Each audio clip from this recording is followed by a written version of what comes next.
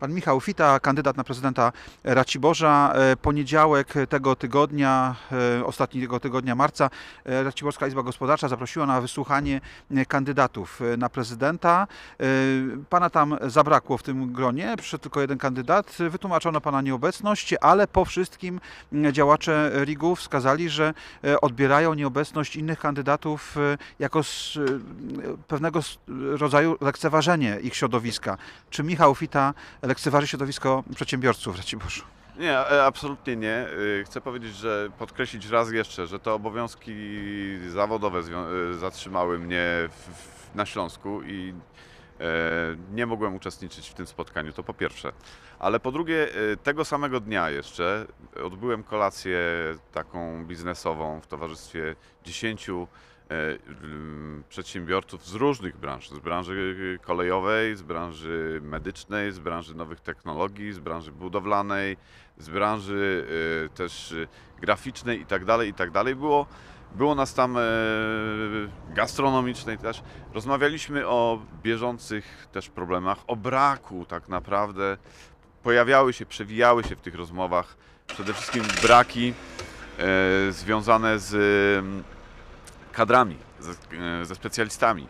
E, Coś, co przewija się również w naszej kampanii wyborczej, na co zwracamy uwagę. Brakuje rąk do pracy, brakuje też, pojawiały się tam w wypowiedziach e, tych osób obecnych, tych przedsiębiorców, z którymi się spotkałem, pojawiały się również te uwagi na temat tego, że powstają klasy patronackie, że też próbują jakby dokształcać swoich przyszłych pracowników.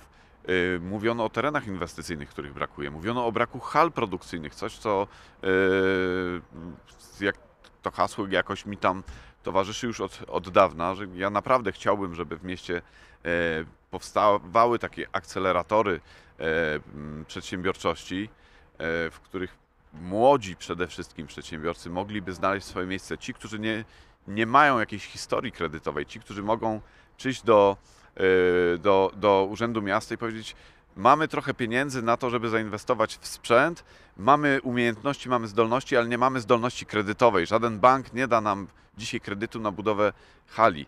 I chciałbym, żeby w mieście powstało takie miejsce, w którym ten młody przedsiębiorca podpisuje umowę, nie wiem, na 3 lata, na 5 lat, buduje swoją markę, swoją historię kredytową, rozwija się, po czym po tym okresie wynajmowania tej hali na, na takich określonych warunkach, właśnie od miasta, z gwarancją tego, że nikt mu nie będzie skakał z wysokością czynszu i tak dalej, że będzie miał bezpieczną przystań w tym miejscu, dostaje potem ofertę od miasta, słuchaj, tam mamy działkę, na tej działce możesz już sobie sam postawić ten, ten swój, e, tą swoją halę, możesz pójść do banku, ma, masz już 5 lat doświadczenia, widać Twoje przepływy finansowe i tak dalej, i tak dalej. Więc na tym e, bardzo mi zależy. Absolutnie nie lekceważę środowiska e, biznesowego, nie mam tego w zamiarze, wręcz powiedzieliśmy sobie po tej kolacji, że to jest pierwsza e, co oznacza, że nie ostatnia i że będziemy chcieli e, kontynuować cykl tych spotkań. Mam nadzieję, że w coraz większym gronie. No, tylko dopytam, kolacja biznesowa, bo do tej pory były popularne śniadania biznesowe, ale rozumiem, że przedsiębiorcy, kiedy są śniadania, no to pracują. To jest czas przedsiębiorców, to jest, to jest podstawa, oczywiście, że tak. Znaczy myślę, że, że generalnie to nie ma znaczenia tak naprawdę, czy to jest śniadanie, obiad czy kolacja, bo istotne jest spotkanie, to jest najważniejsze.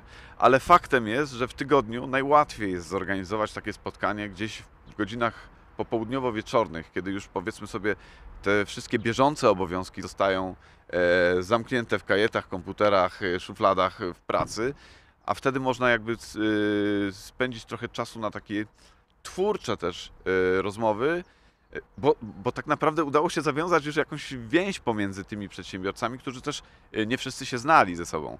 Ja przed momentem odebrałem jeszcze telefon od jednego z tych przedsiębiorców, którzy mi to towarzyszyli w poniedziałek. Z prośbą o to, czy, czy, czy mogę przyjść, bo ma tam kolejny jakiś pomysł i chciałby się ze mną podzielić tą, tą myślą, żebyśmy coś wcielali w życie w przyszłości. Bardzo dziękuję.